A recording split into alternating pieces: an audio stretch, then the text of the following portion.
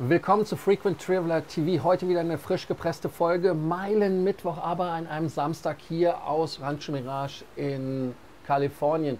Ja, leider geht auch das zu Ende. Ähm, ich habe mal gemacht, heute Nachmittag um 5.30 Uhr nachmittags gebe ich euch das nochmal mit dem Blick, mit der Sonne. Ihr merkt, es geht mir hier nicht ganz so gut. Ich leide höllisch. Aber die Themen, die wir für euch frisch gepresst haben an diesem Meilen Mittwoch, sind zum Beispiel zwei Deals, Premium Economy nach Singapur oder aber mit der First Suite der 380 von Singapore Airlines für 3.199 startend. Das andere ist 900 paar kaputte Euro in der Premium Economy mit dem Eierfranken. Äh, dann haben wir nochmal zweimal Last Calls, einmal Marriott-Punkte kaufen, natürlich aus dem Ritz-Carlton, was soll ich anderes sagen als Marriott Bonvoy. Und wir haben nochmal das äh, Lufthansa Miles Bundle and äh, Go. Da gehen wir nochmal darauf ein, die letzte Möglichkeit, um da Meilen und Punkte zu kaufen zu einem reduzierten Preis. Das läuft nämlich aus. Und wir haben Themen, die wir frisch gepresst haben, unter anderem für euch äh, Accor Ennismore zusätzlich 15% Rabatt. Und ich muss nochmal ablesen, Hilton Diamond Status mit Revolut. Ich lese weiter. Geht es doch noch. Der Text bei der Kreditkarte DKB äh, ist ein bisschen verwirrend. Äh, wir dröseln das für euch heute in der Sendung auf.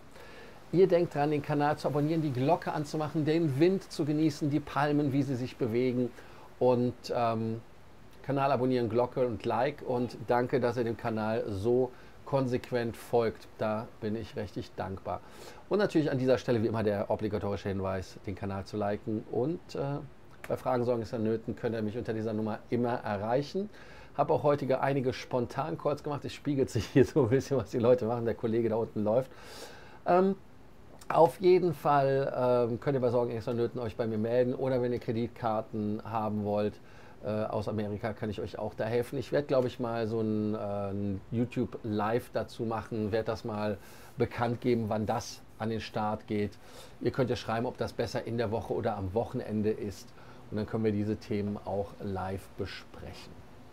Ja, jetzt geht es direkt auch los mit dem ersten Thema und zwar der erste Last Call. Das sind die Meilenkäufe von Marriott Bonvoy. Da kann man bis zu äh, 24, ne Quatsch, 40 Prozent bekommen. Und zwar ist es so, dass dieser Bonus nur noch bis zum 31. März vergeben wird. Heißt also, wenn man maximal bei denen 100.000 Punkte kaufen darf, gibt es 40.000 als Bonus. 140.000 Punkte äh, sind 1.240 US-Dollar. Man kann das jetzt so ein bisschen mal ausrechnen, wann sich das lohnt. Für dieses Hotel hier hätte es sich ehrlicherweise nicht gelohnt. Da waren es 80.000 Punkte. Und wenn ihr dann jetzt mal ausrechnet, dass man dafür ähm, für die 80.000 Punkte, gehen wir einfach mal davon aus, 800 Euro gezahlt hätte oder 800 Dollar, was die Nacht hier dann gekostet hätte, ungefähr dann sind wir bei bummelig äh, für zwei Nächte äh, 1600 Punkten und dann hätte es 1600 gekostet. Also es ist jetzt nicht so ganz ähm, lohnt oder nicht lohnt. Aber man muss natürlich auch mal einrechnen, dass man keine Punkte für den Stay bekommt. Man muss einrechnen, ähm, dass man halt da dann auch wirklich dann diese Punkte nicht vergisst, weil man muss ja überlegen, dass man für die 800 äh, Dollar, 1600 Dollar für zwei Nächte, hätte man ja natürlich auch die Punkte mit der Marriott Bonvoy Karte bekommen. Das muss man halt immer gegen rechnen. Wichtig ist, ähm, dass ihr natürlich immer guckt, ob ihr einen Use Case habt. Und man muss natürlich auch gucken, ob man da die Punkte eventuell zu einem Partner transferiert über eine Fluggesellschaft oder sowas. Auch da halte ich jetzt nicht wirklich von so viel. Aber ich denke mal, dass das äh, ein niedriges Angebot ist. Aber wer Punkte braucht, wer verzweifelt ist und das nicht über die Kreditkarte macht mit der Bonvoy äh, Bevy oder mit der Brilliant oder mit der Bold, ich weiß gar nicht, wer sich die Namen ausdenkt. Vielleicht der eine oder andere kann sich hier die Punkte kaufen. Wichtig ist auch, dass man wissen muss, dass man pro Jahr nur ähm, 100.000 Punkte kaufen kann. Also wer jetzt kauft, kann beim nächsten Mal auch nur dann entweder die, äh, wenn man weniger als 100.000 kauft hat, die Differenz kaufen oder aber ähm, wer 100.000 kauft, ist dieses Jahr leider schon raus und wir sind ja erst im März. Also das heißt, das Angebot fängt erst an. Dann haben wir noch bei Lufthansa Miles and More Bundle and Go. Da gebe ich euch mal was aufs Auge. Und da, oh, da ist es. Äh, ich weiß gar nicht, warum das weg war. Äh, jetzt machen wir das noch ein bisschen hübscher, damit das für euch auch schöner ist. So machen wir breiter und da seht ihr das, dass man mit dem Bundles und Go im Moment noch äh, die kaufen kann mit diesem 50% Bonus bei dem kleinen Paket, 40% Bonus beim Medium-Paket und beim großen Paket gibt es 30%. Heißt also, dass man dann nochmal zusätzlich bei den Meilen diesen Bonus halt bekommt. Bei Hotels and Cars sind das jedenfalls 25, 50 oder 100% Bonus. Bei Avis gibt es 1250 Meilen bei den nächsten fünf Anmietungen 1500 oder 1750 mit Bonus 25, 50 oder 100 Prozent. Und man hat dann einen Preferred Plus Status, der jetzt nicht wirklich was wert ist, das sage ich jetzt. Priority Pass gibt es dann auch nochmal mit Rabatten 20, 25, 30 für die Standardmitgliedschaft. Wer aber die Prestige-Mitgliedschaft haben will, kann bis zu 15% Rabatt bekommen. Und dann seht ihr auch nochmal die Preise 250 bis 1000 und 1750. Wer jetzt noch zuschlagen möchte, kann sich da nochmal angucken, wie es funktioniert. Man meldet sich bei Miles an, wählt drei der verfügbaren Bundle S, M oder L aus. Nach Abschluss des Kaufs gibt es eine E-Mail und es dauert fünf Werktage, bis die Prämienmeilen auf dem Konto gut geschrieben werden. Wichtig ist, dass man weiß, dass dieses Angebot halt wirklich nur bis zum 31. März läuft. Und was auch wichtig ist, dass man mit Miles and äh, Go nur bis zu 250.000 Meilen sammeln kann. Also das heißt, ihr seht, ihr könntet jetzt zum Beispiel ähm, da mehrere Pakete kaufen, bis ihr die Meilen voll habt. Nur so als Hinweis, einfach auswählen und dann direkt kaufen. Hier seht ihr das, da geht das direkt los. Ich möchte meine Daten hier auch nicht zeigen. So, wo haben wir es? Da geht es wieder zurück. Und da bin ich wieder mit dem nächsten Thema für euch. Das nächste Thema, was wir hier haben, das ist Arcor. Und zwar bei Arcor ist es so, dass es dort dann auch nochmal eine Promotion gibt. Die Promotion gibt nochmal bis zu 15 äh, Prozent äh, Discount zusätzlich bei Arcor Hotels. Und das gilt in Deutschland bei dem Hotel in Berlin, bei dem Esso Berlin äh, das Stur. Äh, dann geht es weiter mit dem 24 Hours in Düsseldorf, Frankfurt, dann in Frankfurt noch das The Trip das alte Hafenamt in Hamburg und Hotel Hafen City auch 25 Hours und nochmal 25 Hours. The Circle, da gibt es das auch in Köln. Und da seht ihr halt, dass es dort die Rabatte gibt. Wichtig ist, dass man dort äh, bis zum 21. April buchen muss, um nochmal 15% Rabatt zu bekommen. Ähm, on top auf die Mitgliedsrate. Nur das dazu. Ich hoffe, der Wind ist jetzt nicht zu stark. Das windet hier richtig auf und ab, Gasting ab, wie das so schön heißt im Flieger ähm, Englisch. Also ich hoffe, dass ihr hart bleibt und durchhaltet, so wie ich hier durchhalte. Dann haben wir noch ein Thema und zwar Hyatt. Das ist ja meine Lieblingskette.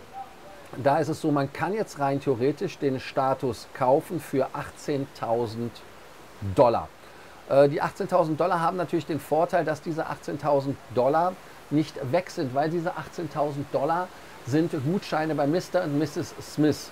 Und diese Gutscheine, wenn man diese kauft, kann man bis zu zwei Jahre Globalist bekommen. Also wer den jetzt kauft, kriegt für 2024, für 2025 bis Februar 2026 den Status.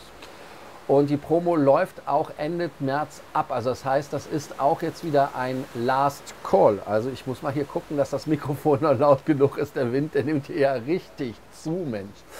Ähm, ja, was gibt es noch? Äh, man bekommt 5 Base Points pro Dollar Spend und bekommt dann nochmal den Standard-Tierbonus. Und wenn man dann natürlich äh, äh, da nochmal 60 Nächte hat, dann kriegt man natürlich pro 300 Dollar eine Nacht und das wäre dann diese 18.000, die man bekommt.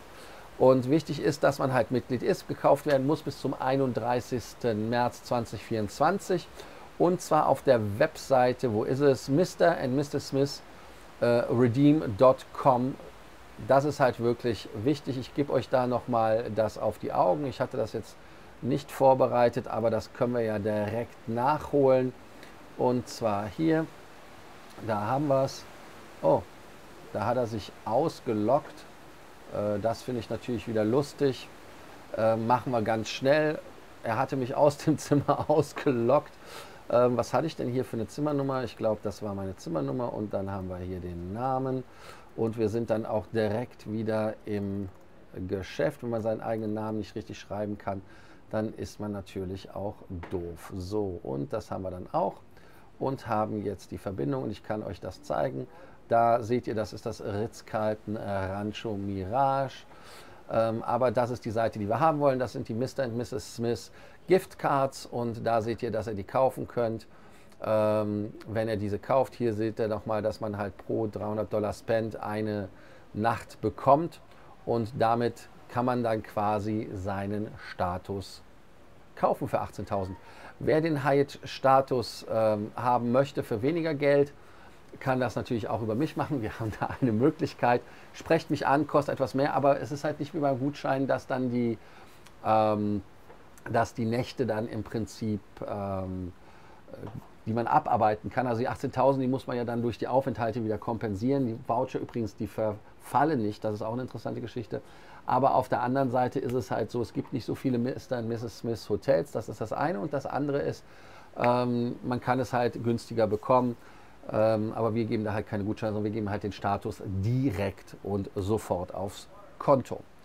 Jetzt gehen wir weiter zum äh, nächsten äh, Thema und zwar ist das die Klarstellung, wenn man da so möchte, von ähm, den Freunden bei DKB. Und zwar, bei, wenn man bei DKB sich die Webseite anguckt und dann die Bedingungen anguckt, und deshalb gucke ich hier auch auf meinen Monitor, ähm, ist es so, ähm, ausgenommen bei der Berechnung des Jahresumsatzes sind sämtliche Bargeldverfügungen, sämtliche aus der Nutzung der Karte erhobenen Entgelte, Zinsen, Einzahlungen auf das Kreditkartenkonto, Zahlungen, zum Beispiel Überweisung auf ein Giro oder sonstiges Konto, zum Beispiel per Parivolut-Konto, bei dem der Karteninhaber Kontoinhaber ist oder Mitinhaber ist.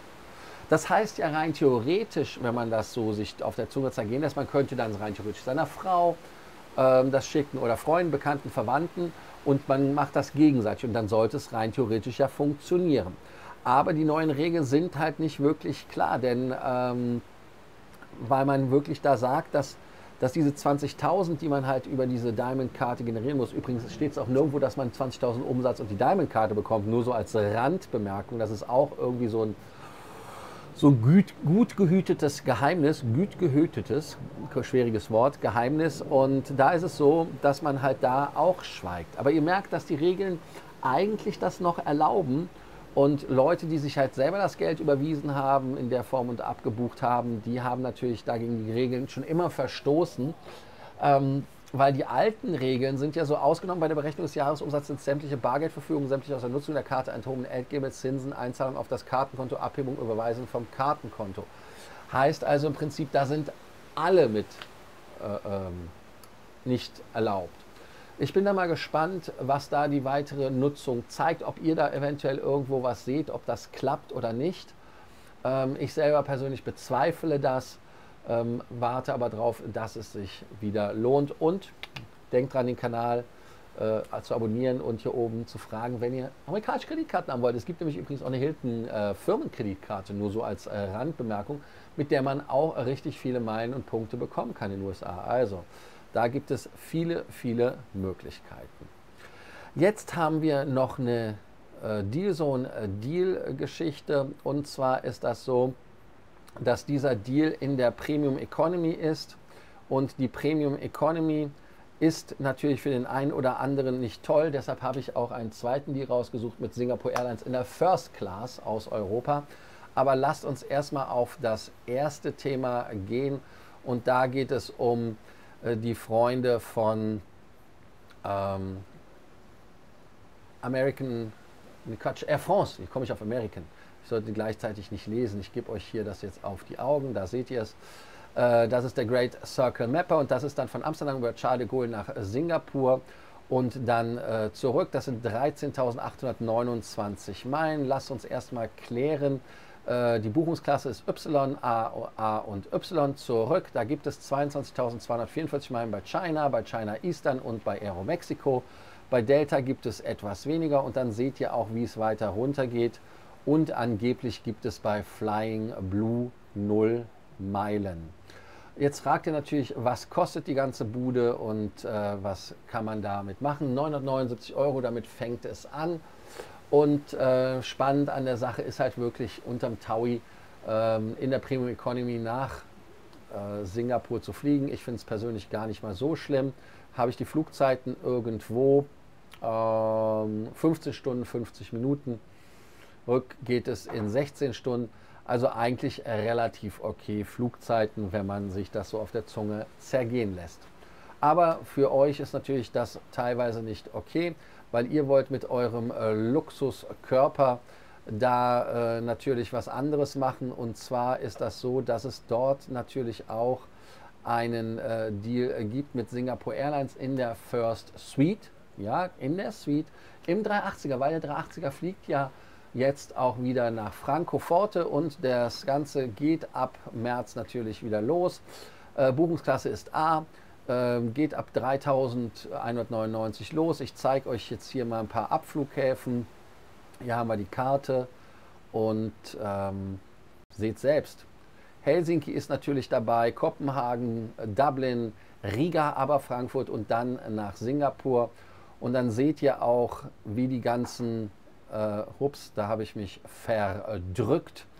Ähm, die, äh, die ganzen Entfernungen sind 958 Meilen äh, sind es von Helsinki nach Frankfurt, 422 von Kopenhagen, 677 von Dublin oder 791 und dann 6389. Das waren also so zwischen 14.600 Paar kaputten und 14.132 Paar kaputten fliegt.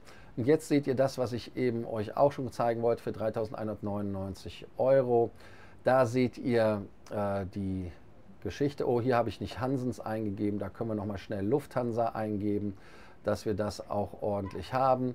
Und dann seht ihr das in der Buchungsklasse C, natürlich Business Class und dann R für die äh, First. Da sind es 26.700 mit Air China, 19.000 mit äh, Vistara. Das sind nur Prämienmeilen, ganz wichtig. SAS äh, Scandinavian ist auch noch dabei. Also es geht hier weiter runter und Air New Zealand mit 0 Meilen. Für 3.199 Euro finde ich das einen krassen Deal, wenn man in Helsinki anfängt. Die anderen sind so ein bisschen höher, bis 3.600 geht es hoch. Ähm, da kann man halt gucken, was auch der Zubringer kostet, ob man eine Nacht verbringen muss und so weiter. Man darf leider nicht in die First Class Lounge oder ein First Class Terminal, weil es natürlich kein Lufthansa Group Flug ist. Ist leider schade, aber ist so.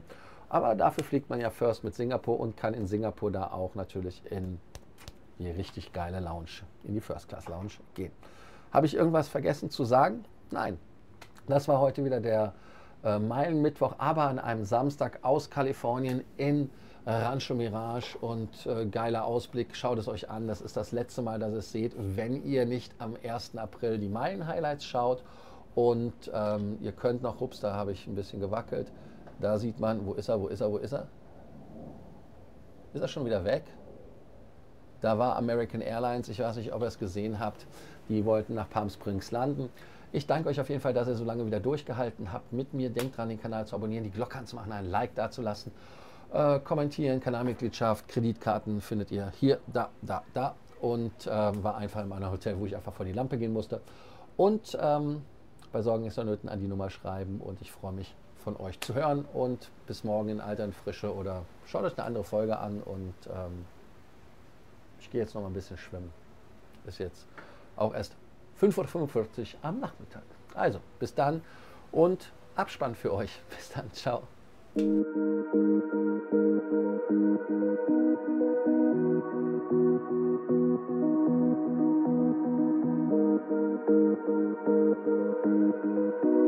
you.